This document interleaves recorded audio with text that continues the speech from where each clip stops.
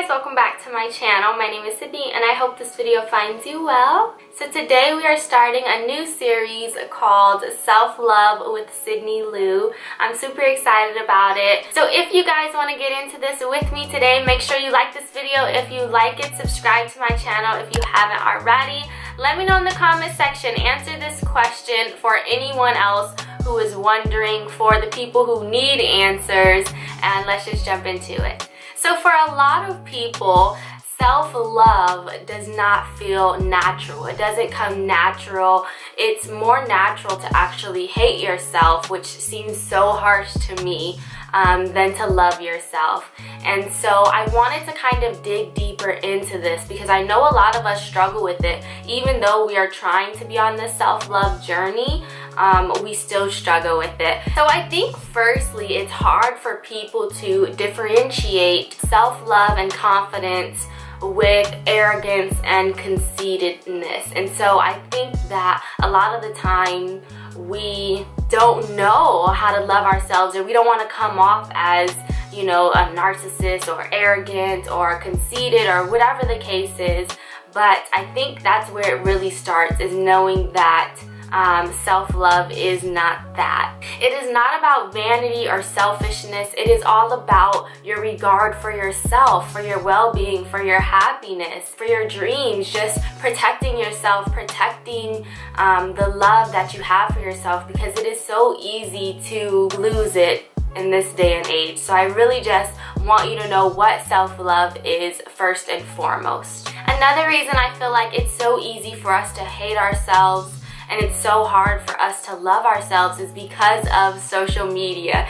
And if you guys know me, you know I talk about this all the time, but we compare ourselves so much on social media. And so if we are not happy with our weight or if we're not happy with our hair or the way we look or whatever the case is, when we go on social media, it's easier for us to start to compare ourselves and for us to start to hate ourselves more because we are not looking at it through a lens of, you know, respecting other people or um, just admiring other people, but we're looking at it through an envious lens and a jealous lens and a negative lens. And so I think that when you don't have enough self-love for yourself, um, social media can be very toxic for you. And with that, another reason is that we don't feel that we are worthy of self-love or worthy of praise or worthy of love from other people. And so when we don't feel like we are worthy, of course it's easier for us to hate ourselves instead of practicing self-love and genuinely loving ourselves and who we are and our flaws and everything that make us us, make us unique. And I started to think of other possibilities, right? Not just the things that I always talk about. And so there are so many other outside possibilities like trauma you might have experienced as a child, maybe negative talk from parents or from family members, maybe people who raised you did not love themselves enough. They did not teach you how to love yourself. They, you know, maybe you saw your parents bleaching their skin or your mom or, you know, never seeing her natural hair or whatever the case is. Maybe you saw those things and you interpret it as hating yourself or you know, your parents don't love yourself, so how can you? Different traumas like that, they live in your brain until you are able to come to terms with them and try and understand them and try and deal with them. Another extreme example is maybe you were raised in a radical religion where they taught you that, you know, self-love is sinful and prideful and different things like that. You know, like there are so many different possibilities of why you hate yourself, why that feels more natural for you than self-love would. And other possibilities that I thought of is maybe you haven't forgiven yourself for something that's happened in the past. Or maybe you're not being your most authentic self. And so sometimes when we are ashamed of ourselves or you know whatever the case is maybe you're gay and you just can't come to terms with that or you can't share it with your family members or whatever the case is you feel like you won't be accepted. That makes it harder for you to love yourself of course so it's easier for you to hate yourself. And you know, for me, one of the things that really stopped me from this whole self-love thing that everyone is on these days was because my perception of what self-love was um, was so wrong because I saw it being done in different ways and it didn't make sense to me and I didn't get it and so I prejudged it before actually knowing what it was.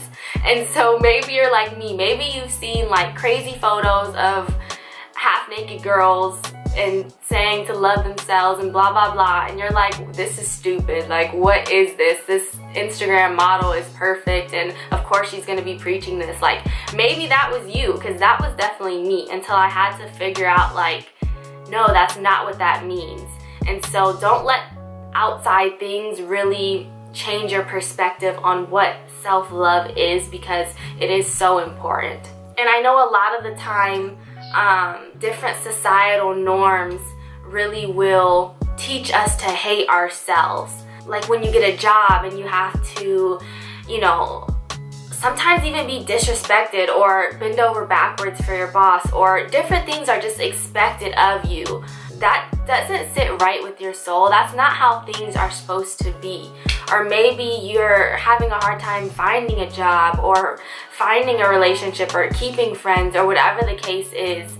That doesn't determine your worth. That doesn't change the fact that you should still love yourself. So whatever outside things are happening, don't let that affect what's happening on the inside.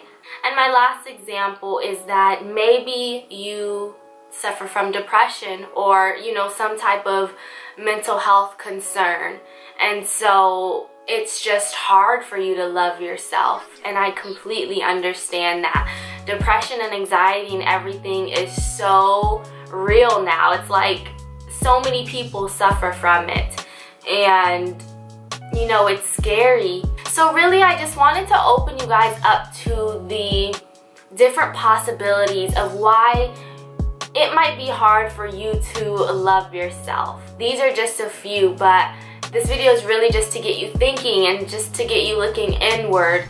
And I'm not just gonna leave you here. We're definitely gonna be talking about some solutions and just how to get on this self-love journey and how to cultivate self-love.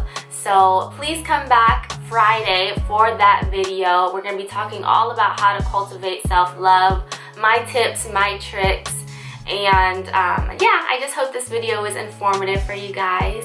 Thank you so much for watching. I love you, take care, and God bless. Bye!